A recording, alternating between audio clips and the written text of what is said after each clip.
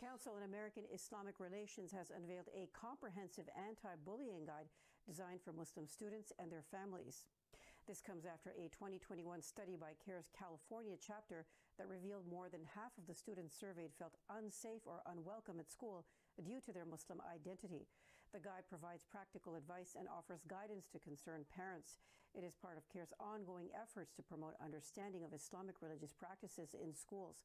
Throughout October, CAIR will conduct discussions about the guide and feature experts on its social media platforms, including Instagram and Facebook.